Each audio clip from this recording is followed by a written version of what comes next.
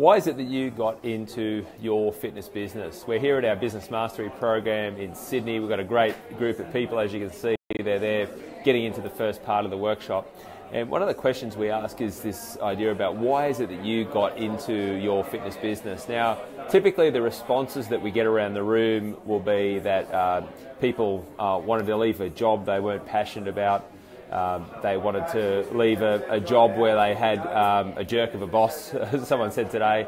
Um, people wanted to pursue their passion. Uh, people wanted to get paid for stuff that they were already doing uh, for free for people. Uh, people wanted to help others. They wanted to make change in the industry. They saw there was an epidemic in terms of obesity, and the list goes on and on and on. And um, we agree 100% with all those statements and comments. And um, I guess what we say formally, number one, is that you, have got to have that passion, you've got to have that enthusiasm for wanting to make a huge difference in, in this industry. Uh, but the second part to it is uh, do you also want to make some money? Uh, now, quite often we see that the response uh, doesn't quite often pop up. We don't have many people say, I'm, I'm here to make um, the income that I desire or that I, that I deserve. And so I'm here to tell you today that you can have both, okay? You can have that desire, that love affair for wanting to help and assist people. And what we sometimes find is that the amount of income that people are earning sometimes doesn't match up to the amount of energy, enthusiasm, and love affair that they have for their business or for the industry. Um, so, what I'm telling you is that you do have the ability to, to, to be able to align those two together.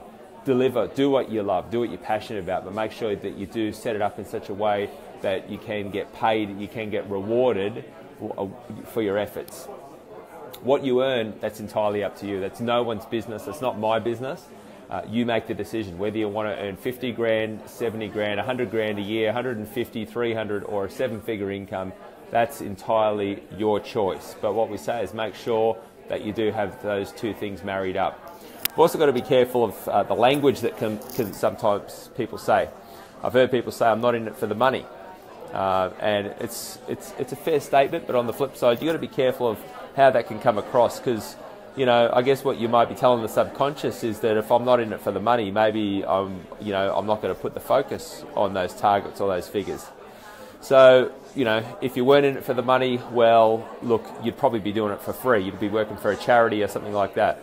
Um, and so, to, to live the type of lifestyle that you want to live, I assume that needs to have some income, some revenue around it. And it's your duty and it's your responsibility as a business owner to be able to do that. So there you go. A couple of things for you to think about on a Friday, and especially uh, an opportunity for you to do a bit of brainstorming around this and go, why, why am I in business? And do I feel like the amount that I'm getting rewarded financially matches up to the effort that I'm putting in? I've got to get back to the workshop. See you later. Bye bye.